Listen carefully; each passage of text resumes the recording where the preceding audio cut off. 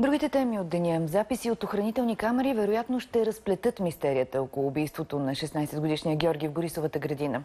Според неофициална информация, разследващите разполагат с кадри, на които се вижда младеж, влизащ в периметъра на района, където е извършено убийството на 2 юни. Смята се, че е възможно той да е свидетел, извършител или съучастник на престъплението. Видимата възраст на момчето е под 18 години и се предполага, че не е криминално проявен, защото снимката и данни за него не са налични в базата на МВР.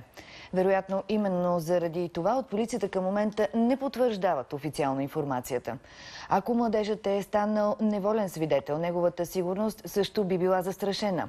Поведението на засечения от камерите се анализира от специалисти за съвпадение с психопортрета на евентуалния извършител.